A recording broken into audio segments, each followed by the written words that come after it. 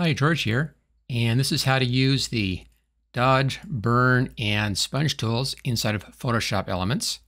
I have this image available for download in my Photoshop Elements Photo Coach program, and I'll tell you more about that at the end of this video if you don't have that.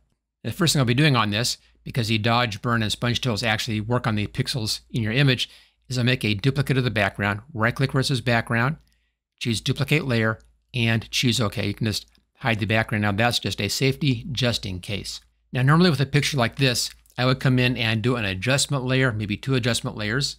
Look at that first, go up here to layer, come down to new adjustment layer, and I'll start off with levels, choose OK.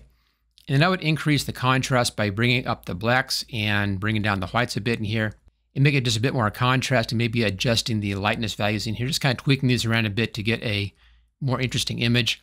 There's before and here's after. You can see how much that has been improved just by doing that. I may also come in and increase my saturation a little bit. Same thing, layer, adjustment layer, this time hue saturation. And on the saturation slider control, bring that up. That increases the color in the image. Now, the problem with this approach is that it works on the whole image. I could, of course, come in and, let's say, mask out just the subject and only adjust those settings. But even here, I have a white horse and a black shirt. I don't want to be doing both those adjustments with just these simple adjustments in here. So there are times when you want to be more specific with your adjustments. This is where the dodge, burn, and sponge tools come in. Let's just hide these layers in there. We'll leave those alone. Come back down to our background copy. Let's see how these tools work. I'll zoom in a bit. There we go. Normally this tool is on the dodge tool right there. Looks kind of like a lollipop. And what the dodge tool does is it removes exposure.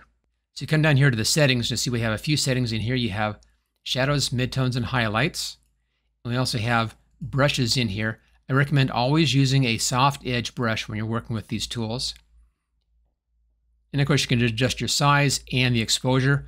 I normally recommend keeping the exposure very low on this so you kind of creep up on your adjustments.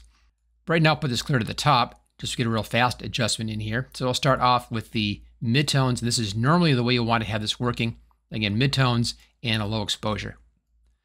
Okay, with midtones, if I brush in here, you see how it's lightening up everything? And it's kind of across the board because we pretty much have just midtones in here. If I change this over to shadows and I brush on this side, notice that the dark areas are now lighter than they were in here. It's still lightening up everything, but it's doing more lightening on the dark area. If I go here to highlights and to the right-hand side, you see how it's really lightening up everything a lot, going very hard here to the light side. And this is why I say to use a lower exposure. Let's just back up out of this. I'll use a Control Z and back up a few steps. There we go. Bring the exposure down to, say, 15%. And come back down to our layer. And this time, if I come in and brush in, it doesn't go that real garish green right away. It just slowly lightens things up. And we're now seeing those highlights. There's the lighter areas lightening, and it's leaving alone the shadow areas. So that's the basic concept behind using these it allows you to have that kind of careful control. So let's say I wanted to lighten up this horse in here, but I didn't want to lighten the shirt. The horse is pretty much in highlights, so I'll leave that at highlights. And then I'll just carefully brush in here just a little bit over the horse. And that lightens up the horse's part of this image without touching anything else. So it can be very, very specific and controllable about this. You may want to bring your brush size down. I'm using the left square bracket key here just to get the size down so it's a better fit. One of the nice things about these tools is because you can be very specific about this, you don't have things happening like losing your sky up here. The sky is a real problem. Let's just go back here just for a second. And I'll go back to the levels control. And if I wanted to lighten everything up like I did on the horse here, if I show or hide this layer, notice how I lose that sky as well. All the blue is gone from the sky. The horse is brighter, but the sky is really really washed out. And again, that's why you want to come in and use these tools for being very, very specific. Now, it will take longer. And of course, you are working on individual sections in here. So you may want to go back and do a major adjustment and then minor adjustments using these just to kind of tweak things. See, I wanted to work on his shirt in here a little bit. I wanted to maybe see a bit more of the wrinkles in here, see more texture showing. In that case, I'll switch this over here to shadows. And again, the dodge tool is going to be lightening up your exposure. So I can come in here and just brush just a little bit with this tool, and show a little more of the highlight areas, kind of lightening up the dark parts of the image. And if I want to darken them down instead, I switch over here to this tool, the burn tool. The burn tool darkens things down. It adds more exposure in, and in essence, increases your black point. Kind of like moving the left side slider here. This is similar to working with the burn tool, and the right side here is similar to working with the dodge tool. So I want to have just more contrast. I would choose which side I'm working with, a light or a dark side. If I want to darken it down, I would use the burn tool. If I wanted to lighten it up, I would then come back and use the dodge tool. You also can use them even on the same area. Let's say I wanted to lighten up just the light areas, bring my brush size down, and I can then come in and just carefully hit those light areas like that. Come back to the burn tool, bring my brush size down again, and darken down the dark areas. I can really increase the contrast difference in here between the light and the dark areas by being very, very specific with the tool that I'm using. Something else you notice in here, as you darken things, it tends to increase the saturation as well. And as you lighten, it tends to decrease the saturation. Let's say you wanted to adjust your saturation levels without increasing or decreasing your lightness values. That's what the sponge tool is all about. You have two options in here, desaturate and saturate. Saturate means more color, desaturate means less color. You can actually use desaturate to create a black and white area in your picture if you wanted to, and saturate goes the opposite direction. Again, when you're using these things, bring the controls way down so you can bring them in just kind of slowly. I'll bring my brush size down a little bit here and do just a little bit of this, just a little bit more color in here like that. So pretty easy to come in and just add a bit more saturation in very specific areas.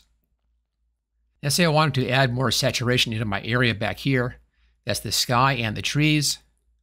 That's a good use for this tool. Let's come in, let's make sure we're on saturate. Pretty good brush size. And if I come in here now and brush in with this tool, I can increase the amount of color. Notice how the trees are getting more green back there. But I'm only adding in more coloration into areas that I want it in. I'm not adding coloration into my foreground writer. I'm not doing anything in here in the grass area. If I want to darken down the sky a little bit, I'll do the exact same thing. I'll go over here to the burn tool, bring my exposure very low, and I want a very large brush for this one. Let's go see how this looks. Here's a 250 brush. Notice how even with a very low setting, it still came in really fast. So let's just back up a couple of steps here. And I'll bring this way down to just 2%. And then I can come in and brush in just a little bit of that and darken the sky down a little bit. There's not much color up in there to work with. So I'm just getting the best I can. This is one of those areas I may want to go back in and use a different tool to increase the blue in this area. Possibly going over here and use one of the smart brushes to make the sky blue or something along those lines. But that's the idea here behind using these three tools. And I would use all three together. It's when you want to adjust your values in your image and your color in your image, your color saturation, but only in specific areas instead of using the overall image controls like we have with the standard hue, saturation, and levels controls. If you want the download of this picture I used here in this example, if you also want to have this finished file over here, and a little step-by-step explaining how these things work. You can get all of that inside of my Photo Coach program. It's in the project section, which is at the bottom of the right side menu. If you don't have that program, you can get that over on my website, and I'll put a link for that in the description. Make sure you hit that like button. Don't forget to click on subscribe if you haven't already done so. When you subscribe, hit that bell icon so you get notifications of my new videos, and I'll see you next time.